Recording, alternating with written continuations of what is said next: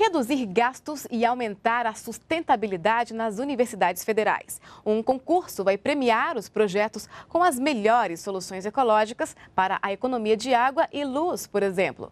Qualquer pessoa pode participar do desafio, que começa no dia 6 de novembro. Vamos saber os detalhes ao vivo com o repórter João Pedro Neto. Boa noite, João Pedro. Boa noite, Aline. Boa noite a todos. Bom, o pré-cadastro para passar a receber informações sobre esse desafio da sustentabilidade promovido pelo Ministério da Educação já pode ser feito. Qualquer pessoa pode participar e as melhores ideias vão ser premiadas. Sobre esse assunto, eu converso agora com Wagner de Souza, subsecretário de Planejamento e Orçamento do Ministério da Educação. Bom, como que vai funcionar esse concurso e de que forma as pessoas vão poder participar e apresentar ideias? Boa noite. Boa noite, João. Boa noite a todos. Como você falou, as pessoas já podem receber informações sobre o projeto Desafio da Sustentabilidade se cadastrando no site do projeto e recebendo e-mails com informações sobre o projeto.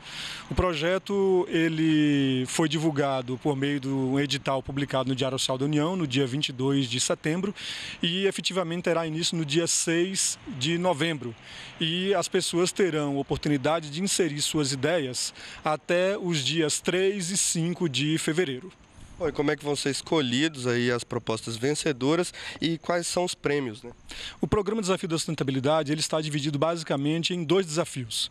O desafio de como reduzir o consumo de água nas instituições federais de ensino e como reduzir o consumo de energia elétrica dentro das instituições federais de ensino. Qualquer cidadão poderá participar. A grande inovação nesse projeto é a questão da participação social. O projeto está alinhado com uma política nacional de participação social, também está alinhado com o programa de eficiência do gasto público do Ministério do Planejamento, com o programa de eficiência energética do Ministério de Minas e Energia e com o programa com a agenda ambiental do Ministério do Meio Ambiente. Então, a grande novidade é que as pessoas, ao colocar suas ideias, elas também poderão curtir essas ideias e comentar essas ideias. Perfeito. E as ideias apresentadas, elas vão ser colocadas em prática? A ideia é essa? Sim.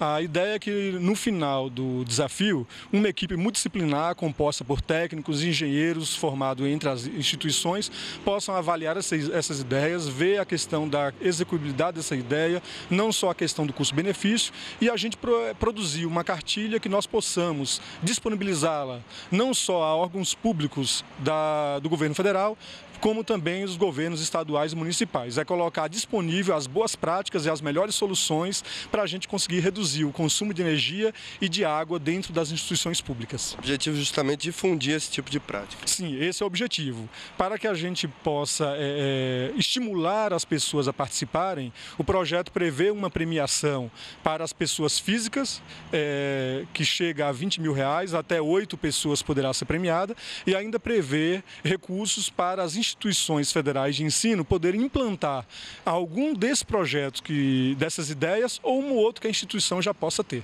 Perfeito, subsecretário. Muito obrigado pelas informações e as propostas podem ser enviadas até fevereiro do ano que vem. A iniciativa vai premiar oito, oito propostas de pessoas físicas. Mais informações no site do concurso na internet. Aline. João Pedro Neto, muito obrigada pelas suas informações ao vivo.